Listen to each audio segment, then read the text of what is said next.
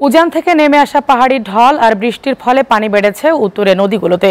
গাইবান্ধা ও নেত্রকোনায় বাড়লেও কমতে শুরু করেছে কুড়িগ্রামের নদ নদীর পানি। তবে বন্যা সৃষ্টির মতো উত্তর এলাকায় বৃষ্টির সম্ভাবনা নেই। আর আগামী কয়েকদিন দেশের উপকূলীয় এলাকা সহ মধ্যাঞ্চলে বৃষ্টি বেড়ে যেতে পারে বলে জানিয়েছে আবহাওয়া অফিস।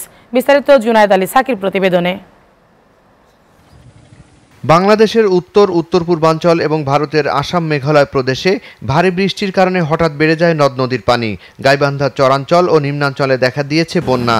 উত্তরের প্রধান নদী তিস্তা ঘাগট এবং করতোয়ার পানি স্থান ভেদে বেড়েছে বিশ সেন্টিমিটার পর্যন্ত। তবে কয়েকদিনের টানা বর্ষণ এবং উজান থেকে নেমে আসা পাহাড়ি ঢলে বন্যা পরিস্থিতির অবনতি হয় নেত্রকোনা জেলায়। এমন অবস্থায় দেশের নদ নদীর উজানে বৃষ্টি কমে যাওয়ার পূর্বাভাস দিয়েছে আবহাওয়া অফিস। তাই উন্নতি হতে পারে বন্যা পরিস্থিতির। যে এই পরিস্থিতিটা ছিল দেশের উত্তরাঞ্চলে যে বেশি বৃষ্টি বা ভারী বৃষ্টিপাতের ইয়াটা এই ইয়াটা কমে আসছে হ্যাঁ। তবে আগামী কয়েকদিন দেশের উত্তরাঞ্চলে ভারী বৃষ্টিপাতের আপাতত সম্ভাবনা নেই। তবে উত্তরে কমলেও মাঝারি থেকে ভারী বৃষ্টি হতে পারে দেশের মধ্যাঞ্চল ঢাকা সহ উপকূলীয় বিভাগ খুলনা বরিশাল ও চট্টগ্রামে যা অব্যাহত থাকতে পারে চলতি সপ্তাহের শেষ পর্যন্ত। আমি কালকে হয়তো বঙ্গোপসাগরে একটা লঘুচাপ তৈরি হবে এবং এটা ঘনীভূত হতে পারে।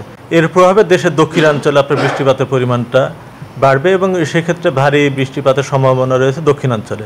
উত্তরাঞ্চলেও এরকম ভারী বা অতি ভারী বৃষ্টিপাতের সম্ভাবনাটা কম।